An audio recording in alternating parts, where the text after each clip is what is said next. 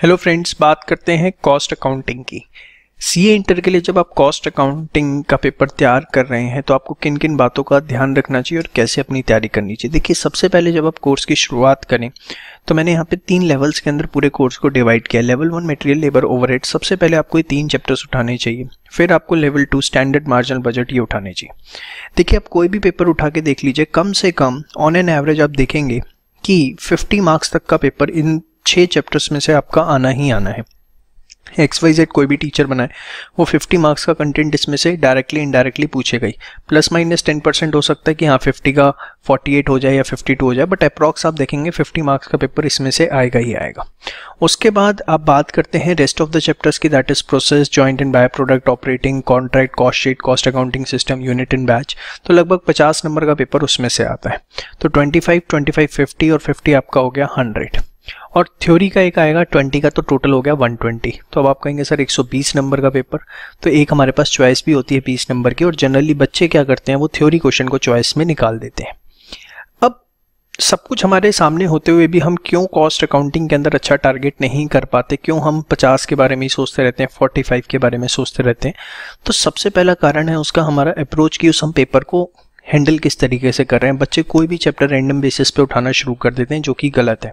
आपको जो सीक्वेंस है, वो लेवल में एटलीस्ट डिसाइड करना ज़रूरी है। ये आपका सीक्वेंस होना चाहिए कोर्स करने का। ये बहुत ज़्यादा ज़रूरी चीज़ें हैं, जिसकी एब्सेंस में बच्चों को दिक्कत आती ही आती है। फिर लेवल थ्री के चैप्टर्स पर आना चाहिए। लेवल थ्री के चैप्टर्स के अंदर क्या है? कोई एंड नहीं आप कितने भी क्वेश्चन प्रैक्टिस कर लो, हर एक अगला क्वेश्चन न्यू होगा। तो सबसे पहली चीज़ तो आपको जब कॉस्ट अकाउंटिंग का पेपर आप तैयार कर रहे हैं तो ये ध्यान रखना है, आपकी जो प्रायोरिटी है, सबसे पहली प्रायोरिटी आईसीआई मॉड्यूल के क्वेश्चंस हैं, चाहे वो इलस्ट्रेशन फॉर्म में गिवन है, चाहे वो आपको पीछे एक्सरसाइज के क्वेश्चंस गिवन है, किसी भी तरीके से आपको सबसे पहले आईसीआई मॉड्यूल आईसीआई मॉड्यूल से मान के चलिए, लगभग आपके 70 परसेंट क्वेश्चन जो है, वो पिक होंगे। 70 परसेंट पेपर आपको आईसीआई मॉड्यूल से देखने को मिलेगा। तो जो सिर्फ़ आईसीआई मॉड्यूल के क्वेश्चंस बहुत अच्छे से कर लेता है और कुछ भी नहीं करता। सिर्फ़ आईसीआई मॉड्यूल कर लिया।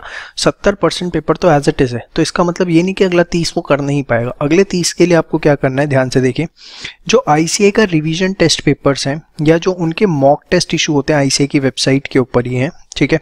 या उनके जो पास्ट एग्ज़ाम है, अभी तो दो ही अटेम्प्ट हुए हैं फ़िलहाल, ठीक है? आप ये R T P mock test और पास्ट एग्ज़ाम ठीक है?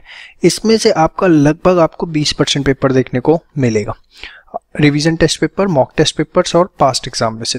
उसके बाद देखिए 10 परसेंट पेपर होता, ऐसा होता है जो एब्सोल्यूट न्यू क्वेश्चंस बनते हैं जो आपको कहीं पे भी देखने को नहीं मिलेंगे। खामा आप मार्केट की कोई भी किताब प्रैक्टिस कर लीजिए वो कहीं पे भी आपको देखने को नहीं मिलने वाले। तो 100 परसेंट पेपर जो है आपका इस तरीके से डिज़ाइन होता है। तो मेरे हिसाब से जब आप प्रिपरेशन कर रहे हैं फ़र्स्ट लेवल पे सिर्फ़ आपको आईसीआई मॉड्यूल करना और कुछ नहीं करना, जब आपकी एक बार अकाउंटिंग कॉस्ट अकाउंटिंग पूरा खत्म हो जाए, आपने पूरा आईसीआई मॉड्यूल खत्म कर लिया, उसके बाद आरटीपी मॉक टेस्ट और पास्ट एग्ज़ाम पे आइए दैट सेट फिर आईसीआई मॉड्यूल रिवाइज करिए।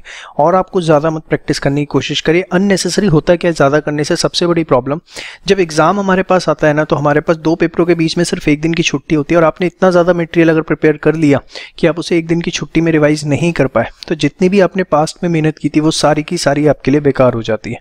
तो इतना मटेरियल आप तैयार करेंगे तो एटलीस्ट आप उसे एक दिन के अंदर रिवाइज भी कर पाएँगे, किसी तरह की आपको कोई दिक्कत नहीं होगी। बात आती है थ्योरी की।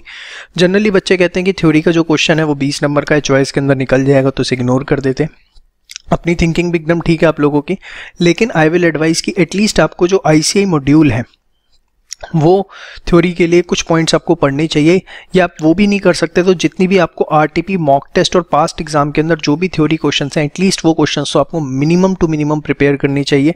और मेन जो थ्योरी क्वेश्चन आपको गिवन है आई की बैक साइड पर वो एटलीस्ट आपको प्रिपेयर करने चाहिए। वो आपके लिए कहीं ना कहीं सपोर्टिव है। कई बार क्या होता है क्वेश्चन इस तरीके का आ गया टेक्निकल कि जो आप नहीं कर पा रहे। देखो, दस पेपर तो आना ही है।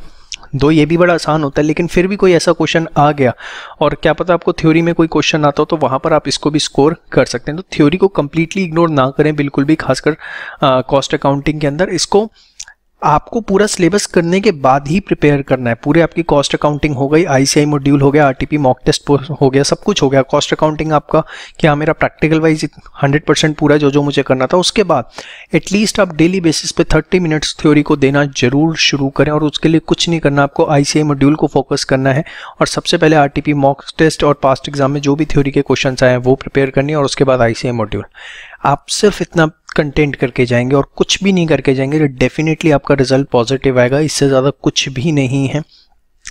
बहुत सिंपल पेपर आता है कॉस्ट अकाउंटिंग का और अगर आप सिर्फ़ जितना मैं बता रहा हूँ, इसको पूरी शिद्दत से कर लेते हैं तो आपके 75 मार्क्स कहीं पे भी नहीं गए कॉस्ट अकाउंटिंग के अंदर। आप बड़े आराम से उसके अंदर मार्क्स ला सकते हैं।